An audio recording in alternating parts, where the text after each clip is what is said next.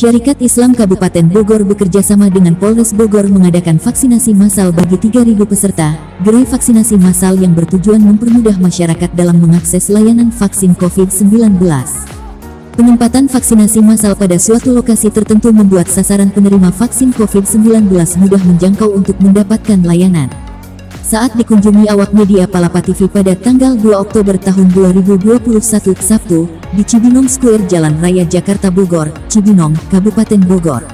Ketua Syarikat Islam DPC Kabupaten Bogor, Niat Mulyadi SHMH mengatakan, yang pertama, bentuk kita mendukung pemerintah daerah, untuk percepatan pemberian vaksinasi terhadap masyarakat. Yang kedua bentuk kepedulian syarikat Islam juga atas masa pandemi COVID-19 yang terjadi di Indonesia. Acara ini adalah upaya untuk ikut menangani wabah virus corona.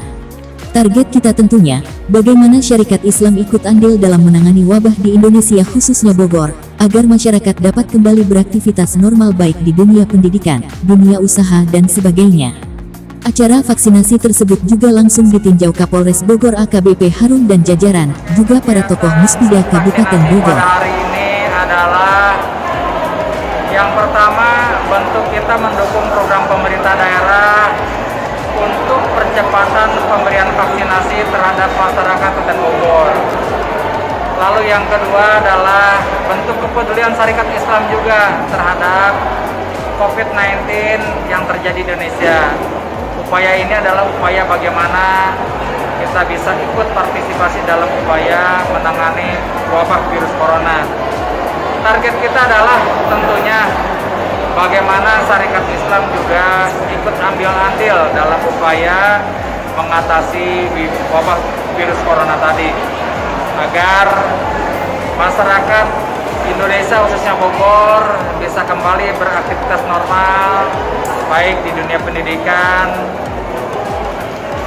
dunia usaha dan sebagainya sehingga perekonomian masyarakat Kabupaten Bogor khususnya bisa kembali normal. Alhamdulillah kegiatan vaksin hari ini kita dari sana pimpinan cabang syarikat Islam yang bekerjasama dengan Kapolres Bogor sesuai dengan apa yang kita targetkan. Mungkin Alhamdulillah kita mencapai target tetapi Teteh ceritakan uh, nama dari mana dan Nama saya Fitriadi dari daerah Pasir Jambu. Nama saya sama juga daerah Pasir Jambu. Alam, Alhamdulillah sudah divaksin pertama tidak ada keluhan apa pun. Untuk vaksin kedua juga mudah-mudahan tidak ada apa. kalau boleh tahu jenis vaksinnya apa teh?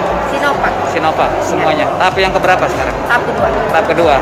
Eh, gimana tanggapannya tentang vaksin ini? Eh, tanggapannya sih bagus ya, responsnya sih bagus. Mudah-mudahan eh, untuk ke depannya lebih baik lagi, tidak ada lagi hal-hal yang kayak macam itu mudah-mudahan. Robi dan Koswanto Palapa TV mengabarkan.